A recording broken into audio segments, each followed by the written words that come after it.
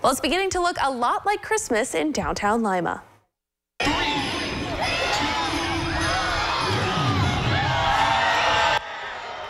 This evening, the Christmas tree on Town Square in downtown Lima was lit up for Mix 103.3's annual Flip the Switch.